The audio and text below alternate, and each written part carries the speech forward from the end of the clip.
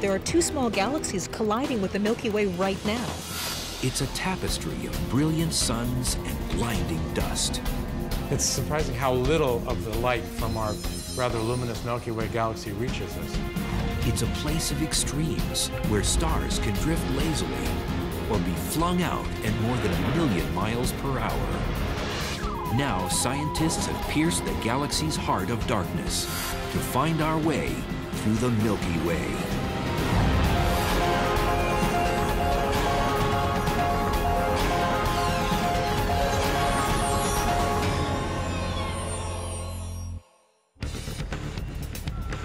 It's a 100,000 light years in diameter, has a trillion times more mass than our sun.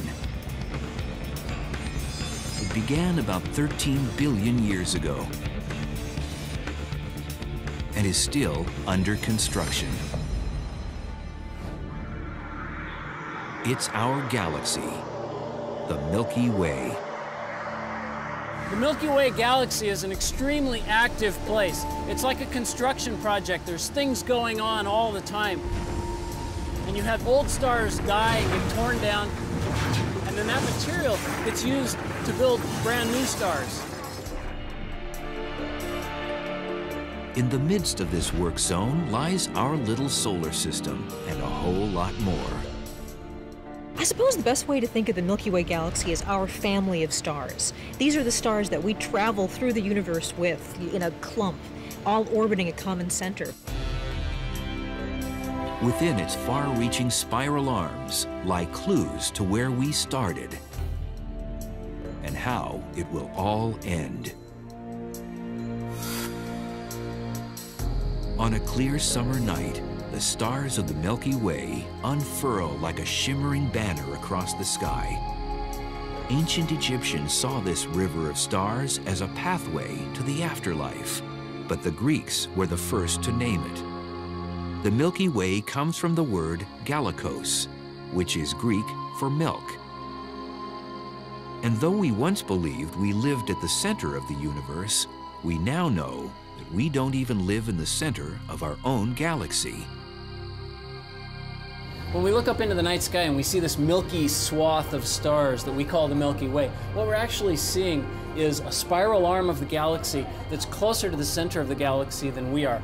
We can't really see the center of the galaxy from here, but what we can see is one of the spiral arms that's a, a few thousand light years closer to the center than we are. As we gaze at the Milky Way from our earthbound position, it's like looking at the edge of a coin. We get no sense of the galaxy's real shape. If, however, you look at a galaxy from the top down, it's a disk, remember, and it looks, it's like looking at a frisbee from the top down. You can see its full glory. Uh, even though it's thin, you don't see how thin it is, but you see its full structure. You can make the analogy of the Milky Way as being very much like a city. There's a central region, there's big buildings, there's a lot of action in the middle. And that's certainly true of our galaxy. Then you move out to the suburbs, where life is a little bit more comfortable, a little more relaxing. It's a better place to raise a family. This is where we reside. Our solar system is among the Milky Way's spiral arms, 26,000 light years from the bustling center. Our galaxy is so large that it takes Earth more than 200 million years to make one lap. The sun's located in what would be just an average neighborhood around the city center. But again, if you're standing in the middle of this neighborhood, you don't really know what the neighborhood on the opposite side of the city looks like because you can't see it directly. As we move outward, beyond the suburbs, the population becomes more sparse. And yeah, you've even got sort of the boondocks. In our galaxy, you've got the halo, where you have very old stars in, in sort of wide orbits around the galaxy. The galactic sprawl doesn't stop at the Milky Way's loose and undefined halo. It reaches far beyond our neighborhood and out to a group of galaxies called the local group. If you think of the Milky Way galaxy as a city like Los Angeles, then you can think of these as counties all within the state of California. And together, this local group makes up the entire state.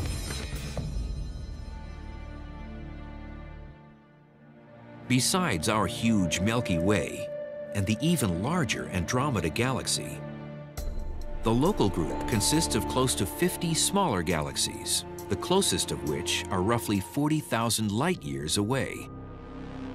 There are two relatively nearby dwarf galaxies, the large and small clouds of Magellan that orbit our Milky Way galaxy and are easily seen in the southern hemisphere. They're small little galaxies. But our local group has several dozen such galaxies sort of wandering around inside it. The big galaxies are the minority. One advantage of actually being in the outer edges of our galaxy, we have a clear view of uh, outside of our Milky Way. We're able to see the rest of the universe, our neighboring galaxies and galaxy clusters beyond our own local group of galaxies. Inside the Milky Way's halo lie massive globular clusters. Globular clusters are densely packed regions of stars that are all of similar composition. These are like the ethnic neighborhoods of the Milky Way galaxy. Indeed, these globular clusters formed when the galaxy was very young. They are among the first stars to have formed. Some globular clusters are 12 or 13 billion years old. They contain 100,000 or even a million stars. Globular clusters, almost as old as the universe itself, gave us the first clue to our place in the galaxy. We saw these globular clusters in the sky, but their center was somewhere far away from us. And that was one of our first measurements of where the middle of the galaxy should be. It weren't orbiting around us, but around an area somewhere about 27,000 light years away. We can never get far enough away from our own galaxy to actually see it. But by looking at other galaxies and comparing what we know about our own galaxy, we've got a pretty good picture of the Milky Way. The very first time we saw galaxies through telescopes, well, we didn't even know they were galaxies. We thought they were just nebulae in our own galaxy, and we were just amazed by the beautiful spiral shape. So it was sort of natural for astronomers to classify galaxies according to their shape, what we see. Astronomers recognize four basic galactic shapes. Elliptical, built of old stars and which doesn't spin. Lenticular, consisting of a bulge and a disk and little or no new star formation. Irregular, which has no real shape at all, like the Magellanic Clouds in our own local group. And spiral, which includes our Milky Way. It's a pinwheel of young and old stars spinning gracefully through space. A long time ago, people thought that maybe an elliptical galaxy eventually collapses down into a spiral. Or maybe eventually spirals all come together and form an elliptical. And it was sort of hard to figure out exactly what the sequence is. One thing we know is that elliptical galaxies tend to be very large. Centaurus A, a misshapen elliptical galaxy about 13 million light years away, suggests why elliptical galaxies get so big. There's a lot of evidence that there's a spiral galaxy in there somewhere that got absorbed by a larger galaxy. So right now it's possible that these really big elliptical galaxies we see may be the mergers of several spirals and other types of galaxies. Our Milky Way isn't in danger of being absorbed anytime soon. But the heart of our spiral galaxy has revealed a secret of its own. Only recently we discovered that the Milky Way is not a classic spiral, but a barred spiral. There's a bar of stars going through the center, and the spiral arms sort of attach off from that bar. Spanning 27,000 light years, it's the most popular bar in the galaxy. 30 million stars gravitate to it. The bar of our galaxy is a natural result of gravity, the mutual gravitational interactions of the individual stars that form the disk of our galaxy and the bulge of our galaxy. It causes sometimes the, the stars to sort of bunch up into this bar configuration. Surrounding the middle of the Milky Way is a huge central bulge. It's mostly composed of stars between 10 and 11 billion years old. The size of the bulge is linked to the Milky Way's most gripping feature of all, a supermassive black hole. Though it would easily fit in the space between the Earth and our Sun, it's 4 million times more massive than our Sun. Now that sounds like a lot, but other galaxies have central black holes which extend up to a billion times the mass of our Sun. So whereas it's a, we call our black hole at the center of our Milky Way a supermassive black hole, among supermassive black holes, it's kind of a runt. Black holes can't be seen directly because light can't escape them. Astronomers have located galactic ground zero through a radio source in the constellation Sagittarius, known as Sagittarius A star. It's creating quite a stir. The black hole in the middle of our galaxy is spinning, and it appears to be spinning at a rate of about one spin per 11 minutes. As it spins, central region stars caught in its gravity get swept along for the ride, orbiting it at about 3 million miles per hour. The black hole affects the central region the most. But we can't feel its tug on Earth since we orbit the galaxy far away from the center. The colossal forces at the galaxy's heart are negated by the Milky Way's unimaginable size. To me, the name Milky Way sounds like something kind of comforting, sweet, you know, a candy bar, that sort of thing. But the Milky Way galaxy is a monster. It is incredibly huge. So, when you think about how vast our solar system is, the fact that it takes years for the fastest spacecraft to get out to Saturn or Jupiter, if the entire solar system were the size of a CD, the Earth would be comparable to the Milky Way. That's huge. That's absolutely mind blowing, and it, it never ceases to amaze me. And the amazement goes on and on. The galaxy's bustle and commotion may be concentrated in the center, but the spectacular spiral arms have action of their own. It's here that stellar neighborhoods are being built and stars are being born. This is our galaxy. It's a lot to take in, and we're just beginning to probe its depths. Our suburban location makes it difficult to get the big picture, and the hazy clouds of cosmic dust only block our view. Even the most powerful optical telescope can't pierce the darkness. So if we want to learn more about the Milky Way, we need to look beyond what our eyes can see. For all its vastness and empty space, the Milky Way is tremendously active and populated with some astonishing phenomena. Star clusters, nebulas, blazing invaders from other galaxies. Technology is making us rethink Five, old beliefs four, and is showing three, us things we've two, never even considered before. We have a mission and liftoff. Plus 15 seconds, sending the New Horizons spacecraft on its way to the very edge of our solar system. We live on a dusty planet in a dusty galaxy in a dusty universe. Empty space isn't so empty. Optical telescopes can see only as far as the nearest dust cloud, which isn't far at all.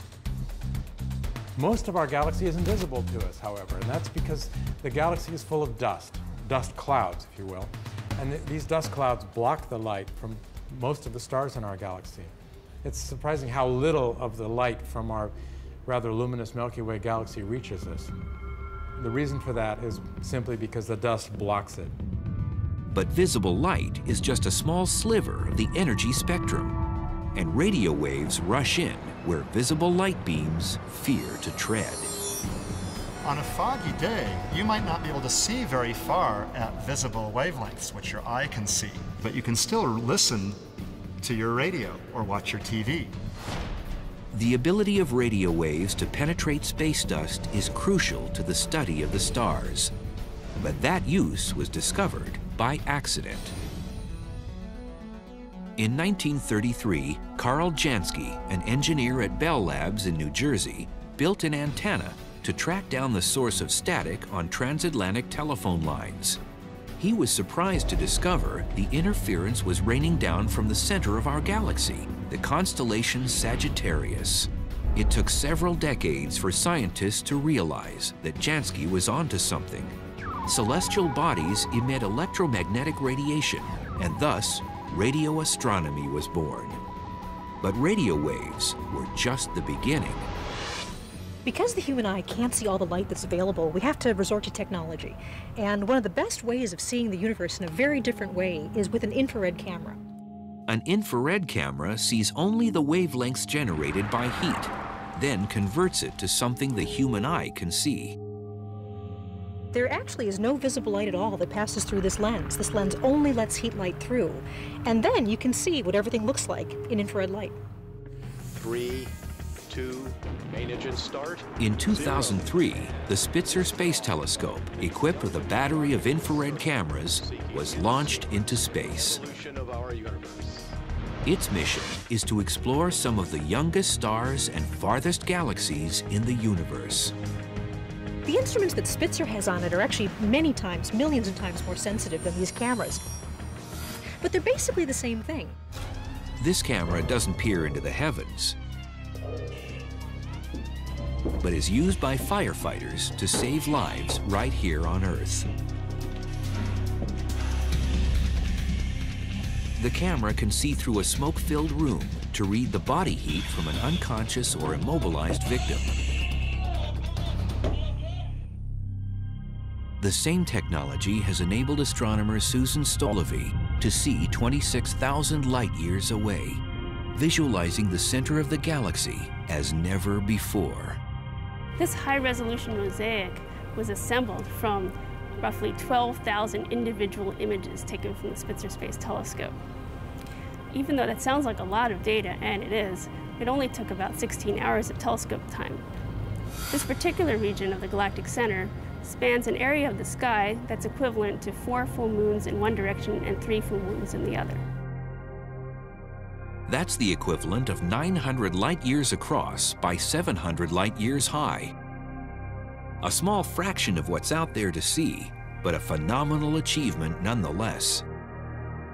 Just a few decades ago, the galactic center was not a subject of study because you couldn't see it. Visually, nothing gets through. Only one light wave in a trillion can penetrate the dust. But if you go into the infrared or use radio astronomy or X-ray astronomy, you can see what's going on there. Different wavelengths of the electromagnetic spectrum can reveal different aspects of the galaxy because they penetrate celestial objects differently.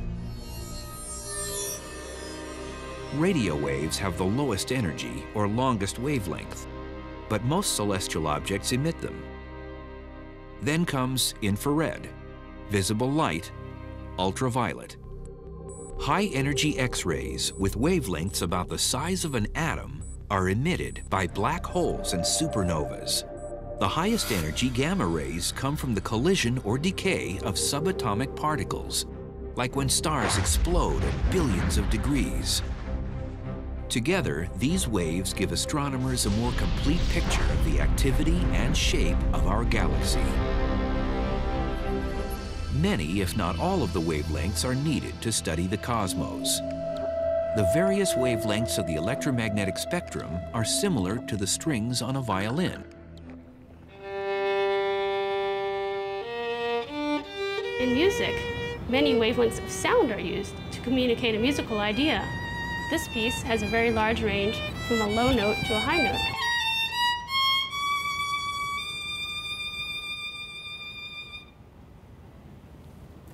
If we were to restrict ourselves to the visible light spectrum, it's almost as if we were only to hear two notes in the middle of that piece. Using alternate wavelengths, the more we look, the more we're discovering. Just recently, we've discovered that there are two small galaxies colliding with the Milky Way right now. And the only reason we didn't know they were there is because there was so much dust in the disk of our galaxy, we couldn't see them. We're living inside this cloud, and it's something we're not aware of. But with infrared light, you can cut through that dust. And the minute we turned infrared telescopes to the sky, we saw these little galaxies up there coming right at us. From our cockeyed position in the Milky Way, it's difficult to gauge what our galaxy really looks like. Radio and optical astronomy give us a glimpse of its features, but to get the big picture, we need to look outward. So the way we gain some understanding of our own galaxy is first of all by looking at other galaxies and seeing what they look like and seeing things in other galaxies that correspond to things that we see in our own galaxy, like clouds of gas that are kind of lined up along what looks like a spiral arm. You know, we can see parts of spiral arms in our own galaxy and we figure that they're all connected, kind of like the spiral arms of other galaxies that we can see from the outside. We know that the Milky Way's four main spiral arms swing out from the downtown center like wide streets.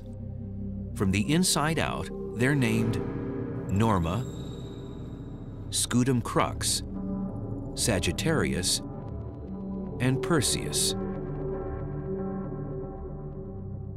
If the arms are the galaxy's suburbs, then our solar system lives on a quiet dead-end street between Sagittarius and Perseus on what's called the Orion Spur. All the stars in the Milky Way add up to a community of about 200 to 400 billion, and they're on the move. We are orbiting around the galaxy. We change our position. So far, we think the sun has always been about the same distance away from the center, but we've been in and out of pretty much every spiral arm that there is. The spirals are called density waves, areas where the stars and gas get pushed together. As the density waves spiral around, the billions of stars ride over and through them. When you think about watching the Tour de France and you see all of these bicycles, they're all moving forward. Sometimes they kind of clump up around one bicyclist, and sometimes they're stretched out. That's sort of what the spiral arms are like. That the stars are going around like the bicyclists, sometimes in, in clumpy areas and sometimes in more spread out areas, but they keep going around the center. Stars don't usually travel alone. While giant globular clusters populate the galaxy's halo, the galactic disk has open or galactic clusters. These bundles of young stars are barely held together by their mutual gravity.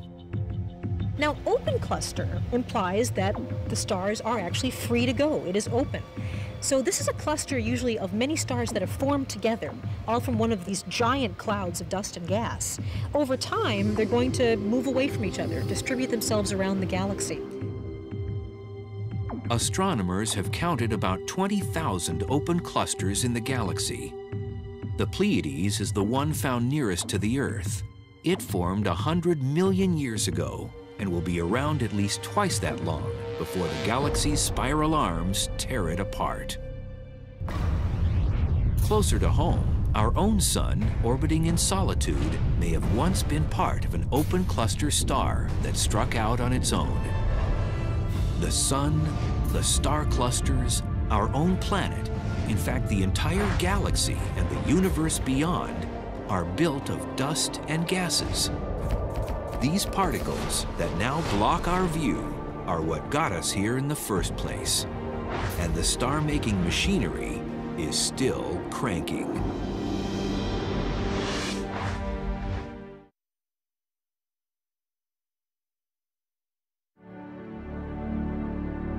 Nothing beats the spectacle of a glorious sunset.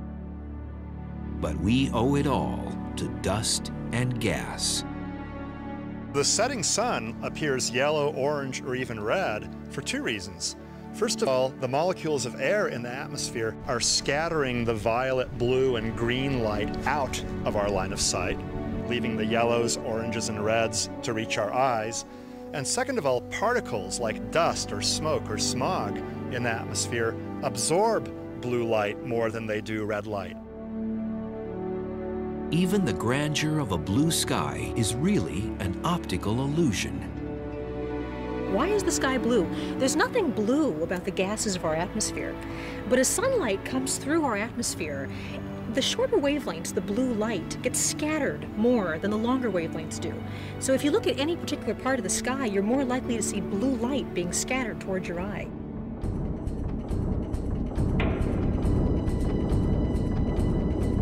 Space is dark because there aren't enough gas or dust particles to reflect the light of a billion stars. And though space may be a vacuum, it's not perfect. The galactic disk, the largest portion of the Milky Way, owes about 15% of its mass to dust and gas. Gas clouds can span hundreds or even thousands of light years, providing the raw material that fires the galaxy. These regions of cosmic dust and gas are called nebulae, and they produce effects rivaling anything seen on Earth. A good example is the Orion Nebula in the constellation Orion. This region is active with stellar formation, which makes the gas around the stars glow. It's literally fluorescing in response to the light coming out of the massive stars that are near the nebula. And, and this nebula literally glows and can be seen. You can see it with your naked eye. When you see the Orion Nebula, in a real way, those are baby pictures for us. Five billion years ago, we were in a glowing hot nebula, and the sun and the planets were forming together under the influence of gravity.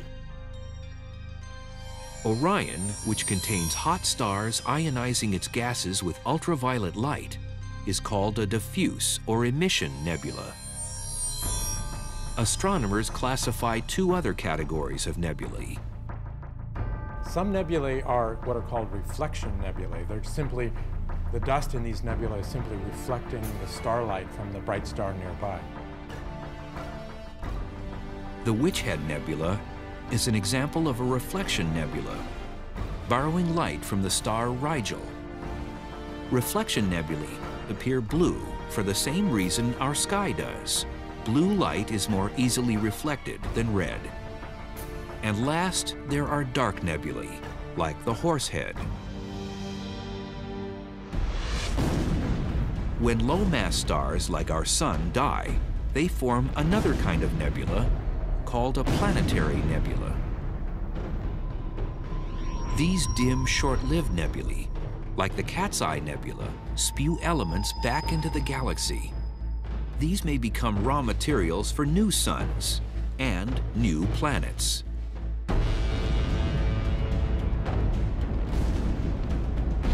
Just as dying stars spew out clouds of dust and gas, dust and gas can come together to form stars.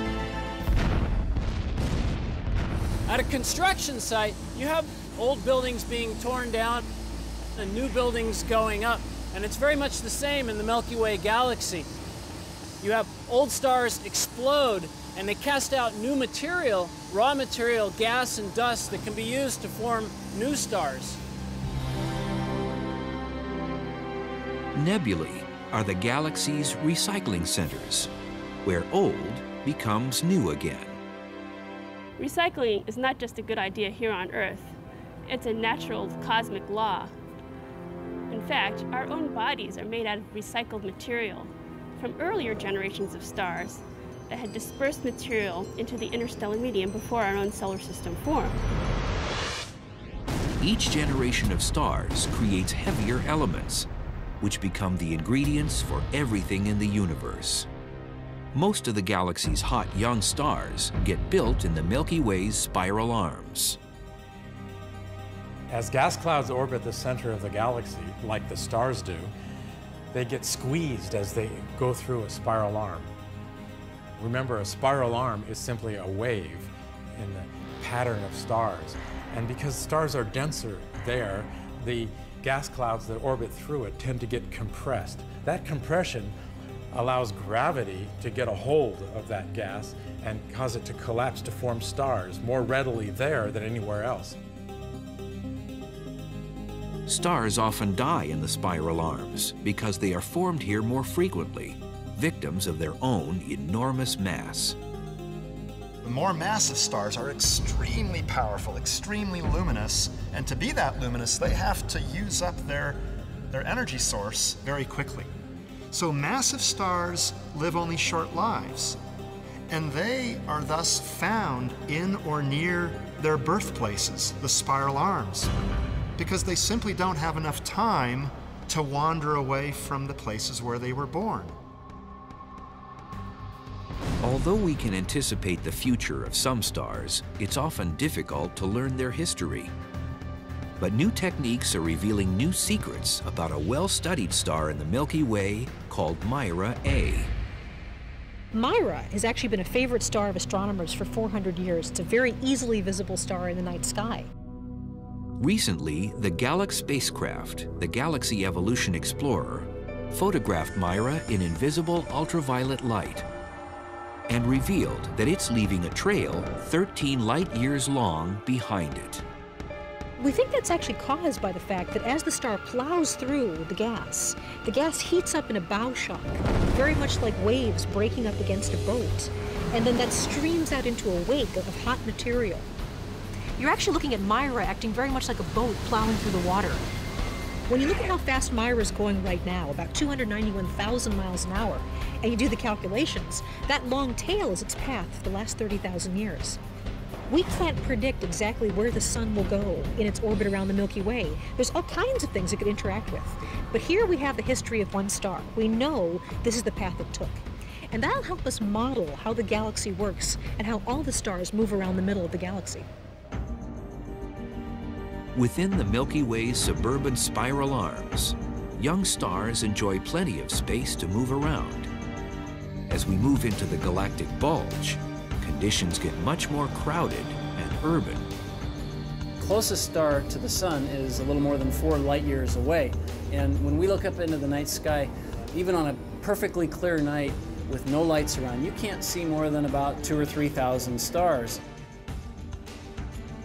But if our planet was down in the middle of the galaxy, there would be a million stars in the night sky as bright as the brightest star that we've ever seen in our sky. And it would be so bright that, in fact, it wouldn't be nighttime, it would be daytime all the time. Life as we know it would be completely different. So what do we owe our position to? Scientists believe that gravity has a lot to do with it. Gravity is the power that drives the galaxy. And at the galaxy's center, churns the engine it feeds. Galaxies are like a city in that they are ever changing and you're constantly being rebuilt and reinvigorated. There's no question that the Milky Way a few billion years ago looked a lot different than it does today. It probably was smaller. It probably didn't have the beautiful spiral shape that we see today. As things collapse under gravity, you, you tend to naturally form a disk. You'll notice there are disks everywhere. Our solar system is a disk, our galaxy is a disk.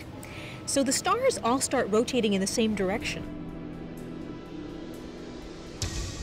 Just as in a city, not all the stars in the galaxy are natives. Some stars born beyond the Milky Way settle here and begin to make their mark. But then, if another galaxy comes by, the gravity affects the way the stars move, and this may initiate the spiral arms. So, in fact, our spiral shape may be some evidence that the Milky Way is composed of more than one small galaxies that came together a long time ago. Historically, the center of the galaxy has been an impenetrable mystery until we developed X-ray vision. One of the first ways we really identified where the exact center of the galaxy was was with an X-ray telescope. Well, the X-rays were able to pass through all of the dust and gas in the disk of our galaxy. And so even though we can't really see this bright center to the galaxy, in X-rays there's this giant glowing hot source right in the middle. The X-ray emitter, Sagittarius A star, is associated with the supermassive black hole in the Milky Way's center. By definition, a black hole doesn't allow light or even X-rays to escape. The radiation comes from gas caught in its gravity, spun and heated to millions of degrees. They're moving at extremely high velocities. For example, the more extreme cases that we've been able to observe, the, the stars are moving as they pass by the black hole at a speed of 10,000 kilometers per second. That's like going around the world in four seconds. And we're talking about a whole star moving at that speed. When we watch stars orbiting the very center of our galaxy, it's obvious that there's some sort of invisible monster there. They're orbiting around a giant mass. And the orbits of the stars imply that there's about three to four million times the mass of the sun in the very center of our galaxy. We're not sure which came first, the galaxy or the black hole, but we know that it's there, and it's tremendous. For all its power and weirdness, the supermassive black hole is pretty typical for a galaxy the size of the Milky Way. Other spiral galaxies and big elliptical galaxies also seem to have supermassive black holes in their middle, ranging from a million times the mass of our Sun up to several billion times the mass of our Sun. The stars surrounding the black hole are ancient. Many are red giants, hundreds of times bigger than our Sun. The galactic center is crowded with them, like an urban downtown crowded with people. And stars, like people, can be pushy. Most stars in the galactic center simply just keep orbiting the central black hole. But in the galactic center, there's so many stars packed so close together that stars are constantly nudging each other a little bit gravitationally. And their orbits are being perturbed, changed a little bit. A bumped star can get stripped of its atmosphere, leaving just its orbiting core. Or rarely, it can tumble into the black hole and vanish. But something else is happening around the black hole. This turbulent, dangerous neighborhood is also a stellar nursery. The stars that we're uh, observing moving fastest around the black hole are the young stars that uh, have very recently formed. And it's something we call the paradox of youth because it's, it's hard to imagine how to form these massive young stars in the presence of a black hole, and yet there they are. Recently, astronomers discovered that not all stars caught in the black hole's grip are doomed to stay there. A few managed to break away and see the universe. Barreling through the universe at one and a half million miles per hour, hypervelocity stars are the escapees of the galaxy. And what's interesting about hypervelocity stars is the only way to explain their extreme velocities is that they're ejected by a supermassive black hole. For a star to go ballistic takes a very specific set of circumstances. And in fact, it requires two stars. Most of the stars you see in the sky are not single stars but pairs or binary stars. They orbit around each other, linked by gravity's embrace. But a star pair in the galactic center might get jostled by surrounding stars and stray too close to the black hole. When that happens, the moment that the gravitational pull of the black hole exceeds the gravity that's binding the two stars together, the pair of stars is broken apart one of the stars will be captured by the black hole, usually into a very tight orbit around the black hole. And the other star will then gain all the energy of that system and be ejected with this incredible velocity. If the galaxy were a city, where most of the stars would be cars or pedestrians, a high-velocity star would be more like an airplane or a high-speed train rushing out of the country. If you were on the high-velocity star, the, the ride would be quite amazing the sky would be covered with stars as bright as the full moon in every direction. But that view would quickly change. Because the high-velocity star moves so quickly out of the galaxy, the stars would appear fewer and fewer in the night sky. The galaxy is constantly in motion, like a giant wheel or a sprawling metropolis. In the heart of town, the supermassive black hole's gravity whips stars around in an orbit of around 11 minutes. Where the Earth sits, two-thirds of the way out on a spiral arm, we traverse the Milky Way once every 250 million years. Our solar system has been around the block only 18 times since it formed. The Milky Way's incomprehensible size makes it easy to forget it's just one small part of an expanding universe. When people hear about the expanding universe, a common misconception is that everything is expanding. And in fact, I'm not expanding right now. My atoms are the same size, my cells are the same size. The Earth is not getting farther away from the Sun. The expansion of the universe only applies to celestial objects that aren't bound together by gravity. Since the planets within the Milky Way have stronger gravitational pulls than the expanding forces outside our galaxy, the expansion of the universe doesn't affect our solar system. Our own Milky Way, a spiral galaxy, is on a collision course with another spiral galaxy, the largest spiral near us, and that is the Andromeda Galaxy. We think that in maybe three or four billion years, our two galaxies may merge together. It'll be very interesting to see what happens. What probably won't happen is a collision of stars. Even though both galaxies contain billions of stars, the space between them is enormous. They will gravitationally interact, changing their direction and motion. Eventually, the merged spirals will settle down to become an elliptical galaxy essentially all of the several dozen galaxies in our local group will be part of one super galaxy. And then gradually that super galaxy will start losing stars because of gravitational interactions among the stars within that galaxy. Some will get flung away into intergalactic space. When it first formed, the Milky Way built stars at a rapid pace using raw materials that were ejected in space from the Big Bang. As the galaxy aged, the star production slowed down from a few hundred a year to about four to six new stars each year today. Over time, the Milky Way galaxy has changed dramatically, and we don't know exactly what it looked like long ago, but probably early on there was a lot more gas and dust and probably fewer stars, and you had a lot of very large, very massive stars that would have formed early on. And then these early stars exploded fantastically and uh, spat out new material, heavier metals that could be used to form smaller second generation and then third generation stars. Some younger galaxies are still enjoying that kind of building boom.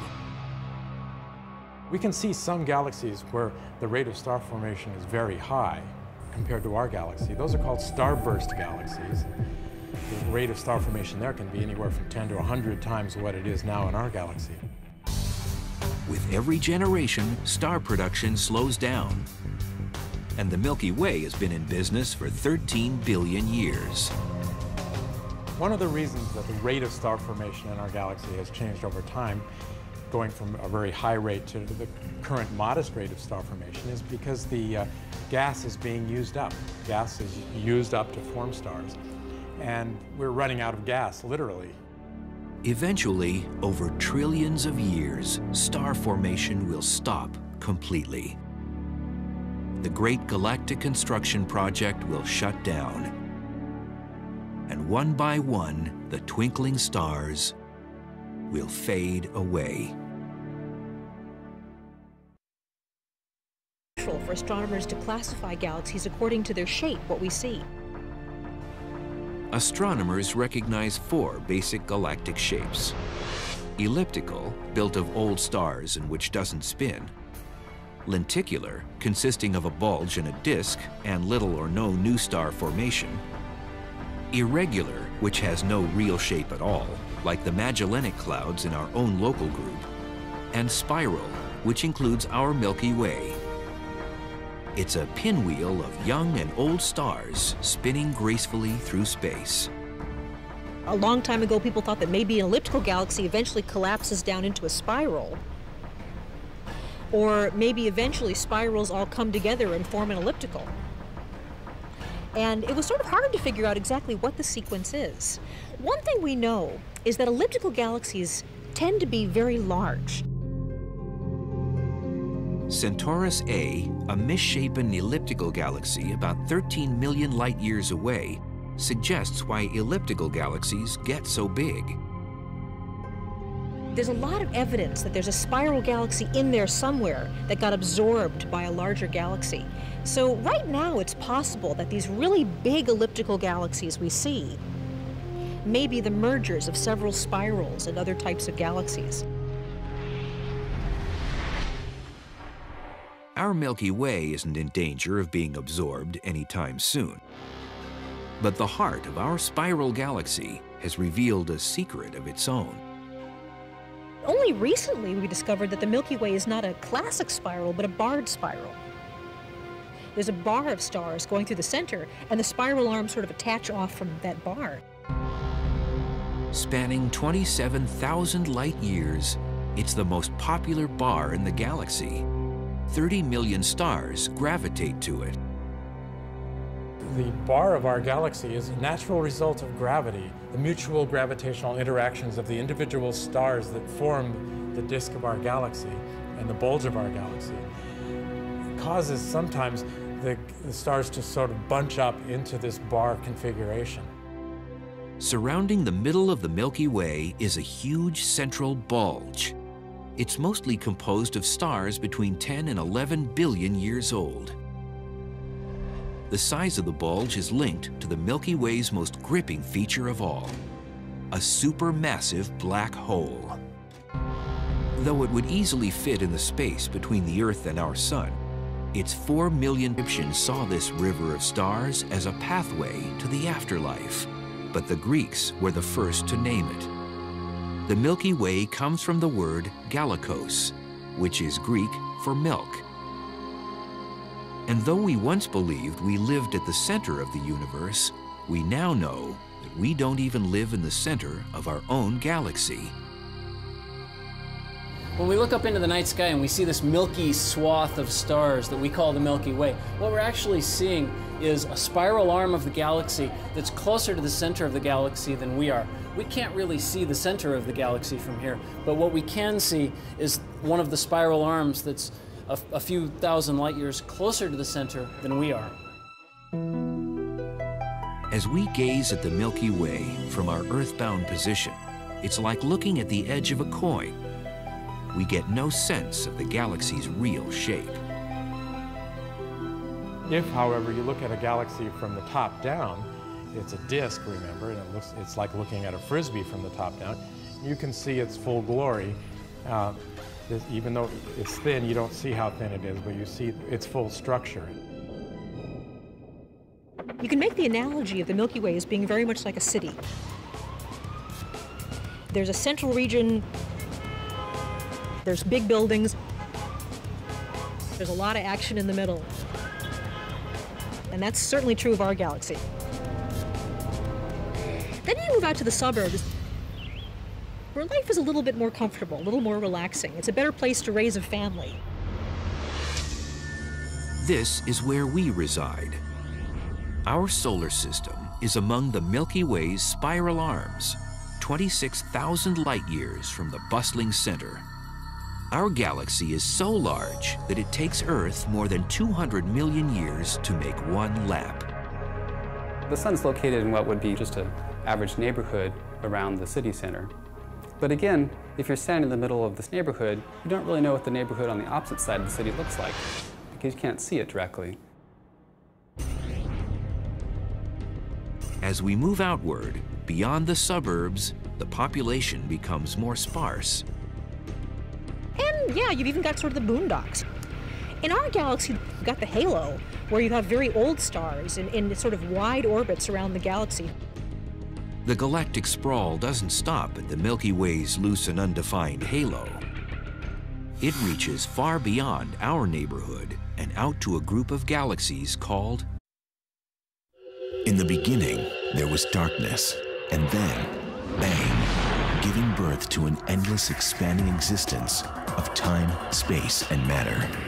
Now see further than we've ever imagined, beyond the limits of our existence, in a place we call the universe.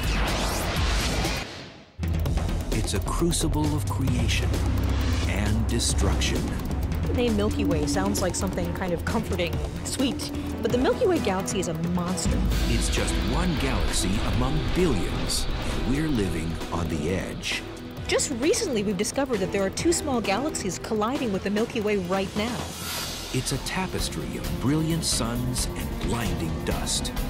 It's surprising how little of the light from our rather luminous Milky Way galaxy reaches us. It's a place of extremes where stars can drift lazily or be flung out at more than a million miles per hour. Now, scientists have pierced the galaxy's heart of darkness to find our way through the Milky Way.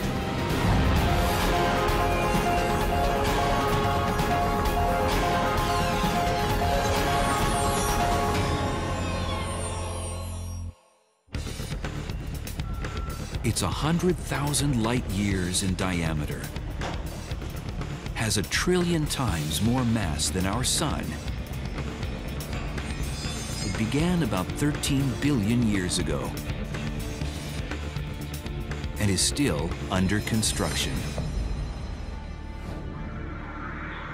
It's our galaxy, the Milky Way.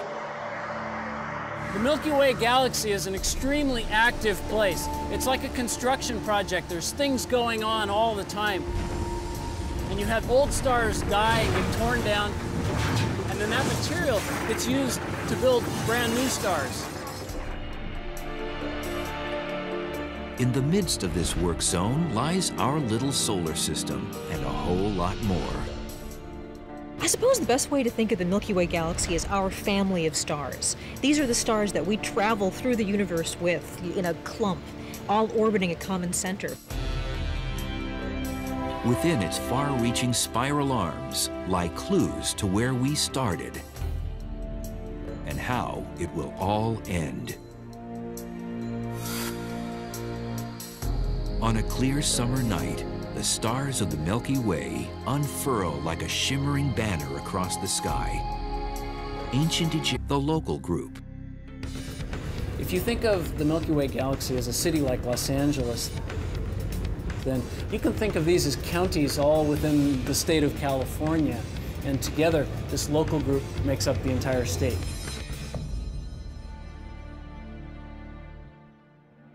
Besides our huge Milky Way and the even larger Andromeda Galaxy, the local group consists of close to 50 smaller galaxies, the closest of which are roughly 40,000 light years away.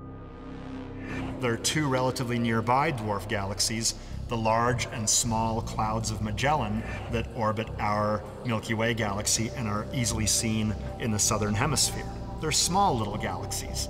But our local group has several dozen such galaxies sort of wandering around inside it. The big galaxies are the minority. One advantage of actually being in the outer edges of our galaxy, we have a clear view of uh, outside of our Milky Way. We're able to see the rest of the universe, our neighboring galaxies and galaxy clusters beyond our own local group of galaxies. Inside the Milky Way's halo lie massive globular clusters. Globular clusters are densely packed regions of stars that are all of similar composition. These are like the ethnic neighborhoods of the Milky Way galaxy. Indeed, these globular clusters formed when the galaxy was very young. They are among the first stars to have formed. Some globular clusters are 12 or 13 billion years old. They contain 100,000 or even a million stars. Globular clusters, almost as old as the universe itself, gave us the first clue to our place in the galaxy. We saw these globular clusters in the sky, but their center was somewhere far away from us. And that was one of our first measurements of where the middle of the galaxy should be. It weren't orbiting around us, but around an area somewhere about 27,000 light years away. We can never get far enough away from our own galaxy to actually see it.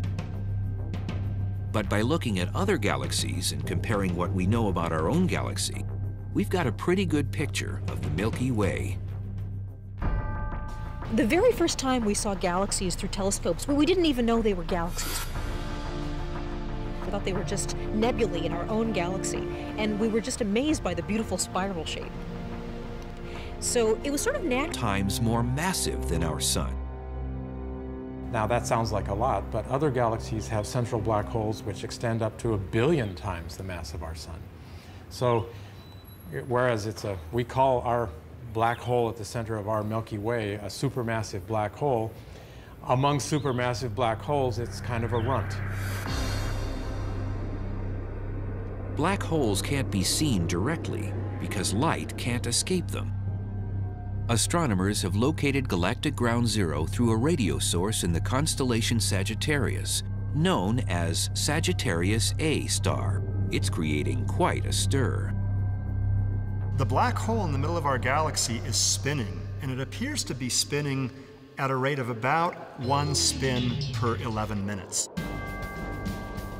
As it spins, central region stars caught in its gravity get swept along for the ride, orbiting it at about 3 million miles per hour.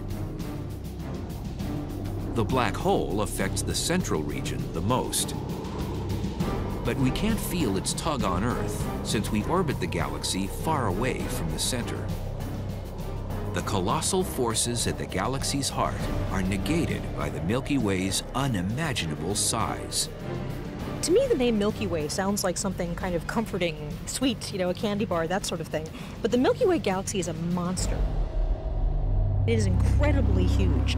So when you think about how vast our solar system is, the fact that it takes years for the fastest spacecraft to get out to Saturn or Jupiter, if the entire solar system were the size of a CD, the Earth would be comparable to the Milky Way.